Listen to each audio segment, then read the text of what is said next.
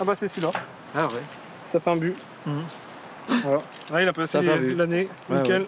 Ouais, il est beau, hein Cet heureux propriétaire est soulagé. Son sapin qu'il a laissé en de bonnes mains a bien grandi et pourra à nouveau trôner dans le salon pour Noël.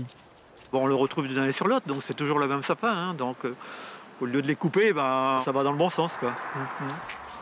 Un destin moins ingrat pour ce conifère. Corentin, un des gérants de la pépinière du bord de mer, a été séduit par ce concept qu'il a découvert en Allemagne et qu'il a décliné. Le principe, c'est que les clients achètent euh, leur sapin la première année, de cette taille-là, par exemple, à 28 euros. Et euh, au mois de janvier, ils reviennent, ils leur donnent un surnom, comme ici, étincelle, par exemple. Et euh, nous, on le replante avec le pot dans la terre, on l'entretient toute l'année.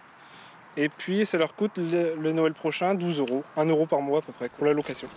Il vaut mieux ne pas le laisser à proximité d'une source de chaleur et acheter de jeunes sapins qui supportent mieux les rempotages.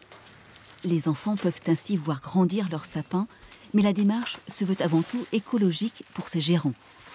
C'est important euh, pour faire prendre conscience aux gens que c'est du vivant. On a l'habitude depuis qu'on est gamin de d'avoir des sapins coupés, on se pose même plus la question en fait. Alors que bah, c'est des végétaux, donc c'est du vivant. Donc si on inculque ça aux enfants dès tout petits, eh ben pour eux ça va être euh, quelque chose de, normal euh, dans quelques années quoi.